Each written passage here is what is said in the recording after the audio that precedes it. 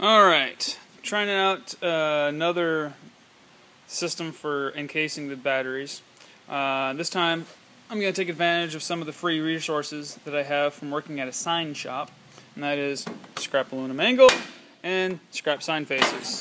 This used to say something, um, but this is uh, sign white Lexan. Uh, this has been sun faded.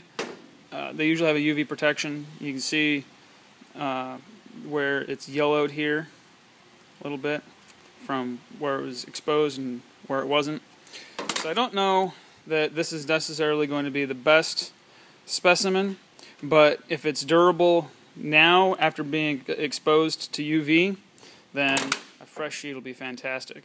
This is 3 16ths, uh, probably overkill, but again, it's what I have for free at my disposal.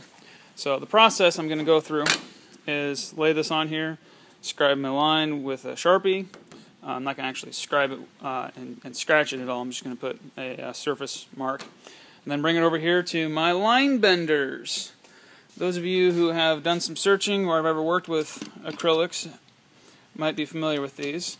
Uh, essentially, it's a fantastically expensive resistor put into, in this case, a five foot long uh, piece of aluminum, 3 eighths by 3 quarters of an inch, and it just heats it up using these little, I assume, Variacs or some sort of who knows what in here. Doesn't matter. They click on, click off. Maybe you can tell me what's in there. I don't care.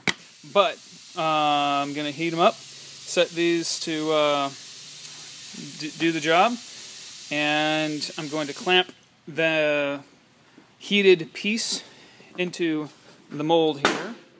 And I've done this before to where I have a exterior mold and then the acrylic or Lexan would sit on the inside curve right here. And that gives a nice gentle bend.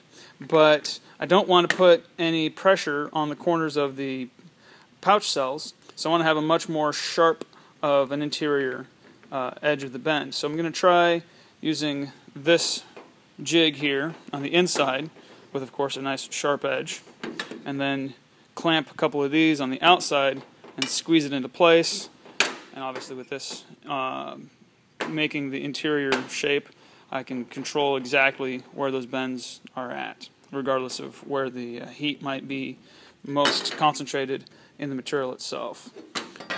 These are usually kind of uh, a bit of an art. You screw up several of them before you get it right but hopefully I can get this one right the first time.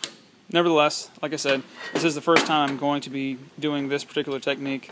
I'm most keenly curious about just how sharp I can get it to uh, conform, but then also what the structure of it will be. Uh, with having a gentle curve, it's very strong.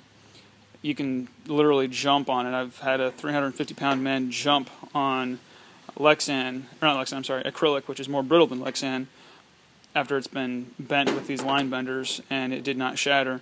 Uh, he hurt himself when he slipped and fell, but the acrylic withstood it. And this being Lexan, it has a lot more give to it. Uh, this will take a bullet, no, not really, but it will take a beating. So I will uh, continue to make installments as this process continues. You'll note I do not bother combining all of these little segments into one video. Uh, actually, I like to be able to have each of my steps uh, segmented with uh, a YouTube playlist being the uh, way to go from one to the next.